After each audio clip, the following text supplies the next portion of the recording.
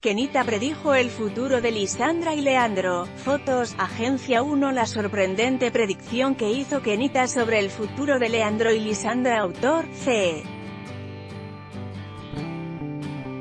Z 15 de agosto, 2018, yo creo que Leandro va a estar más disponible para la relación, ninguno de los dos se ve como juntos, como de concretar. De hecho, a ella se le ven como muchos viajes, muchos cambios este año. Esta fue parte de la predicción que hizo Kenita en enero pasado en Glamorama TV sobre la relación de Leandro Pena y Lisandra Silva. La numeróloga anunció un preocupante futuro para ambos algo que quedó en evidencia tras el quiebre de los ex chicos reality, confirmado por ellos mismos este fin de semana. Kenita vio los números de la pareja y fue tajante, él podría estar más celoso, por ejemplo, etc.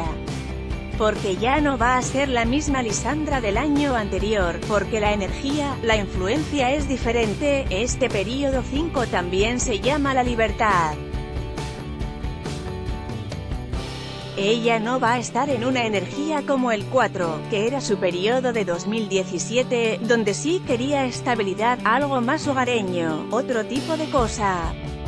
Cuando tú entras en el período 5, que son los cambios, quieres sentirte libre, quieres experimentar, lea acá la predicción completa de KNITA sobre Leandro y Lisandra en enero pasado madre de la escolar que se quitó la vida, Katy Winter, encaró a Carola de Moras y Rafa Araneda por filtrar audio de Moras y Araneda pidieron disculpas a madre de escolar que se suicidó tras audio filtrado por Pauli.